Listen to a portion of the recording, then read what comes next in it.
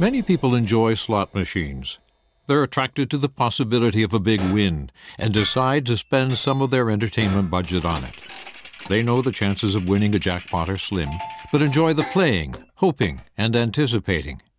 They may be disappointed when they don't win, but feel their losses match their enjoyment. Most slot players have an idea of their limit, that is, the amount they intend to spend. This is also the amount they can afford to lose. Difficulties arise when people exceed their limits. To keep your risk low, it's important to know how slot machines do and do not work. Two ways of understanding how a slot machine works are presented in the following illustrations. See which best reflects your view. By the way, one is a common myth. Many people think a slot machine works like marbles on a conveyor belt. The outcomes for each play are placed along the conveyor belt. Despite the many pictures on the play line, a slot machine has three general outcomes a loss, a small win, or a big win. The hoped for big win, of course, is why you're playing. Most plays are losses, so the vast majority of outcomes are white. Small wins are far less likely, but there are some. And of course, there are very few big wins. Every outcome is random, so instead of being nicely spaced, wins appear in an unpredictable manner. Randomness means there are no patterns, and no one can correctly predict when a win will occur. Now, in this view of how a slot machine works, each play moves the conveyor belt forward one step. This suggests the next win, wherever it is, is one step closer.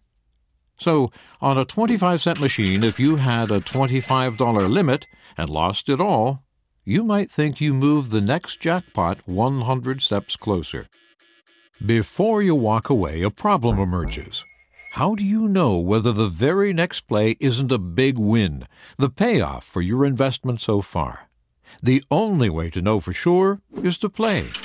It turns out to be a loss. But what about the next one? Another play and another loss. And so the trap of playing beyond your limit takes hold. In the heat of the moment, some players will go to an ATM and take out extra money. They do it because, in this understanding, the key to winning is persistence, hanging in until the big win arrives. Besides, if they leave now, the very next player could benefit from their investment and win their jackpot. They've heard of this and would never forgive themselves if it happened to them. A different way to understand how a slot machine works starts with a simple bag of marbles. To begin, we'll have 19 losing white marbles and a single red win. In order to make the outcome random, the bag is given a good shake. Now, there's no way to predict where the red marble is. On each play of this slot machine, your 25 cent bet allows you to reach into the bag and take out one marble. Since there are 20 in all, your odds of winning are 1 in 20. You take out a marble, and it's white. You've lost this time. Now, stop and ask yourself the odds at this point. There are 19 marbles left in the bag, 18 white and 1 red. It would be natural to conclude they were 1 in 19. But before you draw, you must first replace the losing marble in the bag, bringing the odds back to 1 in 20. And the bag gets shaken again to mix up and randomize the marbles. Now your second draw is exactly the same as the first 1 in 20 odds in a freshly shaken bag. And no matter how many times you draw, the odds remain exactly the same. They never get any better. This truth results from the replacement or reload feature that applies to every play of every slot machine. The losing marble always gets put back in the bag. But, you say, at 1 in 20 odds you'll win sooner or later, so it's not that bad a deal. However, on real slot machines, the odds of a jackpot are much higher. They vary from one machine to the next, but we'll use one in a million. Instead of a bag, picture a large cylinder with a trap door to draw from. To hold one million marbles, it would be 15 feet long and 10 feet high. Buried in the million marbles is the single red jackpot. Before each play, the cylinder is spun to randomize the marbles. For each 25 cent bet, you reach in without looking and take out a marble. If you choose a white one, you lose. Then, you must reload the game by putting the losing marble back in the cylinder before it spins again. And for each play, you repeat this process with the same randomly mixed one in a million odds. So, which do you think is correct? The conveyor belt or the cylinder? By now, you've probably figured out that the cylinder accurately shows how a slot machine works. The conveyor belt is wrong because it doesn't include the all important reload feature, and past wins or losses have no bearing on the next jackpot.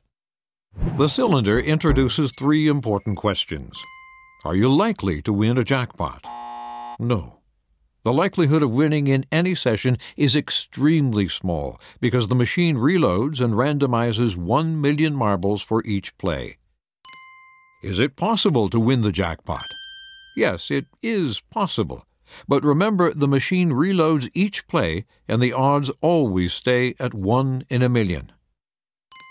When you reach your limit, does it make any sense to spend money you can't afford to lose? No. Slots are never due for a win. Losing that money is as close to a guarantee as you'll get from gambling. There's still the question of whether the next player will get your jackpot if you leave when you reach your limit. If you think about the million marbles in the cylinder, it's virtually impossible for the next player to choose exactly the same marble as you. The same is true for slot machines. It's almost impossible for the next player to get the same outcome you would have. Given what you've learned about how slot machines do and do not work, what do you do with it? The best advice anyone can offer is to protect yourself from harm. Here are seven habits to keep your play problem free. 1. Set your limit. Before heading to the slots, decide how much money you can afford and are prepared to lose. 2. Avoid a cushion. Take only your limit with you. Leave all extra money at home. 3. Plan your departure. Think about how long it will take to play to your limit. Plan on leaving the slots area at that time. 4. Avoid ATMs. Make an unbending rule to never withdraw extra cash at the slots venue for gambling. If you ever have, leave your debit and credit cards at home. 5. Cool down. Once you reach your limit, leave the slots area. Go to a lounge or refreshment area and allow temptation to cool. 6. Recall the guarantee. When tempted to go over your limit, recall that you're likely to lose every extra dollar you spend. 7. Picture the cylinder. Think about having to choose one marble from a million and the futility of betting money you can't afford to lose. The bottom line in slots play is to maximize your enjoyment while reducing your risk. At this point, you have everything you need to know to make this goal a reality.